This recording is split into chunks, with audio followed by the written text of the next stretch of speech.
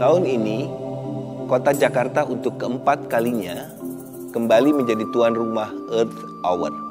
Saya bangga semakin banyak masyarakat Jakarta dan kota-kota lainnya di Indonesia menjadi bagian dari gerakan lingkungan hidup terbesar di dunia ini.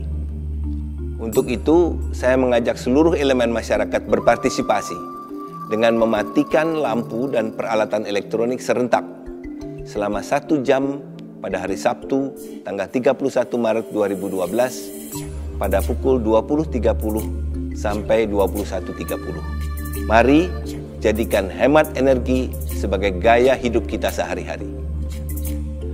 Sebagai komitmen pemerintah Provinsi DKI Jakarta terhadap lingkungan hidup, saya nyatakan Kota Jakarta siap mewujudkan pola hidup warga kota yang hemat energi dan ramah lingkungan. Dan saya juga mengajak seluruh kota-kota di Indonesia untuk ikut berpartisipasi dalam Earth Hour tahun 2012. Jakarta siap. Bagaimana dengan kota Anda? Ini aksiku, mana aksimu?